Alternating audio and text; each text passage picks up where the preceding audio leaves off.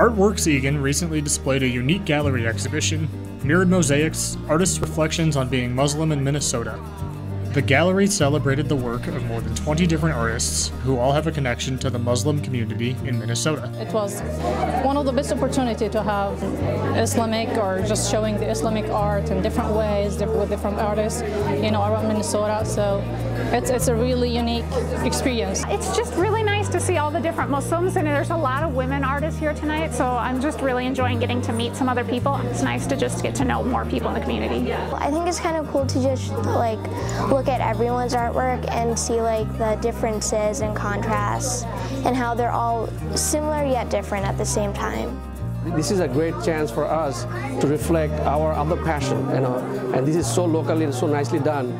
I mean, all the all the display have been so nicely done, and those reflect our our creativity much better. So this really means a lot to me. There are not very many exhibits that feature all Muslim artists or people who have a connection to Islam.